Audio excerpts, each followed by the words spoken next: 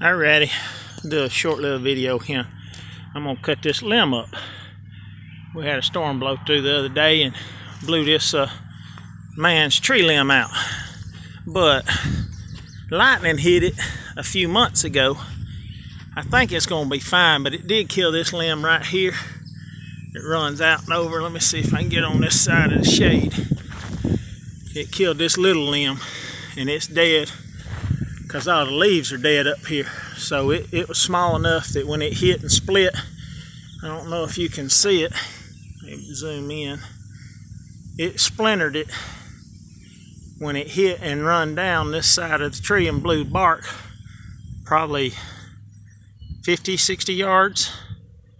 But I think it'll survive. It should. It didn't blow much of the sapwood out. It's just the bark.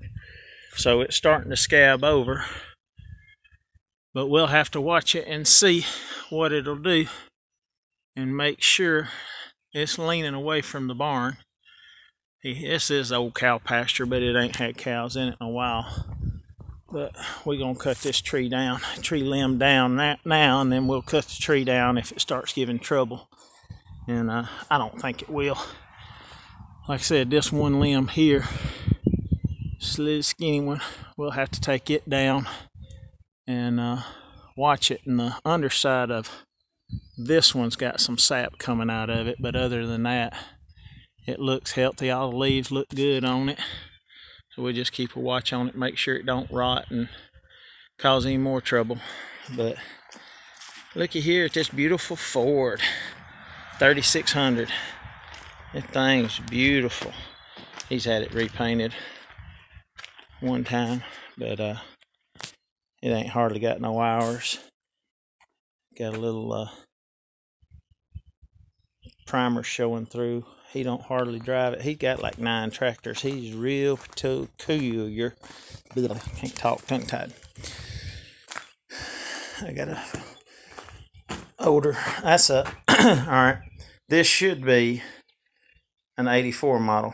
So this should tell you how this man likes his stuff and keeps it very immaculate.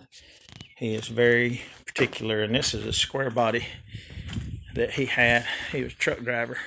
Keeps his diesel fuel in here. I think this is a 73. I think. But this old tractor, I like it.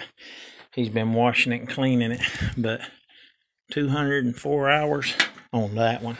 That's after he's had it restored or painted up he'd been pressure washing it because it didn't have all this gray primer showing. So whoever painted it didn't use a lot. I'll show you the grill on the square body there. Single headlight. So it might be a 73, but 70 something. Custom deluxe. Interior's immaculate. Like I said, truck driver. Dash has got two cracks on it. But this is old cattle barn. I like his tractor. I told him I was going to buy it whenever he got ready to get rid of it. So he ain't but 80, so he got about 20 or 30 years more using it. But anyway, figured I'd do a short little video. Wood piles it, cut it up, and throw it on the truck, and then haul it off. I might cut it up for firewood. I know a boy up here. I'd drop it off at his house for him. But let me get this cut up. Hope everybody's having a good day and appreciate it enjoy your Saturdays.